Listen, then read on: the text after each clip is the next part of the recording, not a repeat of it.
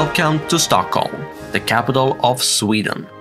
With its population of over 975,000 people, makes Stockholm the biggest city in Scandinavia. The capital is known for its iconic city hall, the world's biggest hemispherical building, Avicii Arena, the old town Gamla stan, the amusement park Gröna Lund, and so on. But one thing that makes Stockholm so unique is the metro system that is located just below the streets of the city. Today, we will talk about what you can do, how you can travel around, and of course a bit about the art in Stockholm Metro.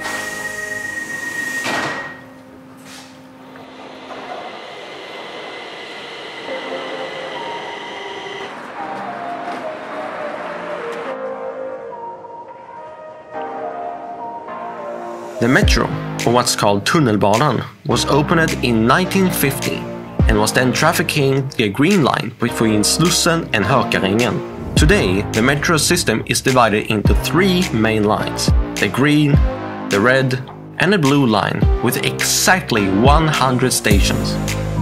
However, the metro will be expanded with 12 new stations and two brand new lines, which will be completed in 2030. So, what can you do in the Stockholm Metro? Travel, of course, but also explore the beautiful art of each station. A single ticket costs only $4.21, which will give you access to the public transportation around Stockholm. This includes the bus, the light rail, the boat, the commuter rail, and of course, the metro. All of them are owned by SL, but the metro and the commuter trains are operated by the Hong Kong company MTR.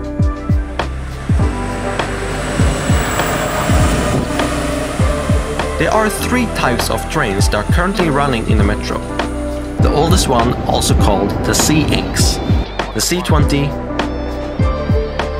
and the C30. With the metro, you can travel from the suburbs outside Stockholm, through the city, to the industrial area. A good example is the Red Line, where you can travel from the poor regions to the rich regions. One example is Norsborg and Östermalmstorg, where Norsborg is crowded with apartments and stores, but crime is often seen there.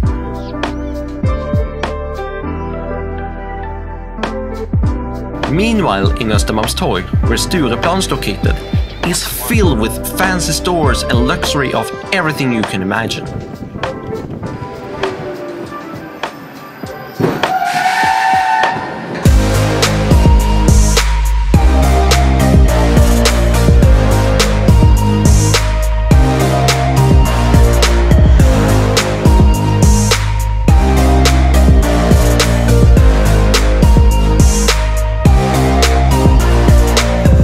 If there is one thing that makes the metro unique, is the art. The art can be seen in all 100 stations on the 110 kilometer long metro system, decorated from different artists with their own style. From the non-violent sculpture to a station filled with arcade theme, there is always something new for visitors to explore while traveling around Stockholm.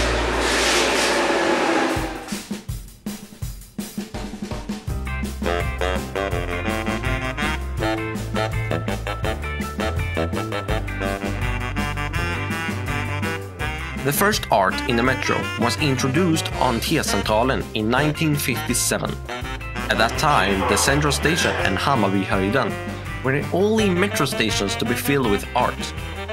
All 1950 stations that are located underground was built with a method called cut and cover. This means that the streets are dug up, then a concrete tunnel complete with tracks, platforms and more is installed, and finally the whole thing is filled again.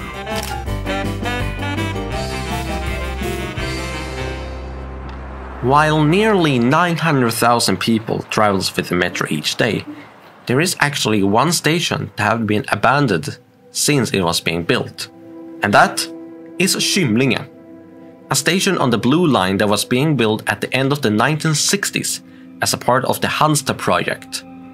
But when it was decided to place central authorities in other locations in Sweden, the Hansta project failed. Today, the station is quietly empty with trains passing the station.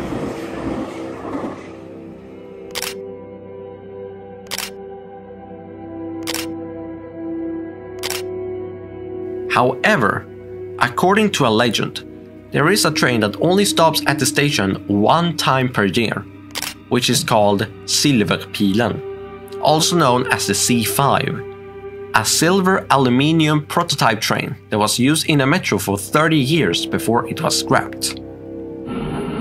According to an urban legend, the train only picks up dead souls, where the lady goes off at the Stockholm Metro is unique.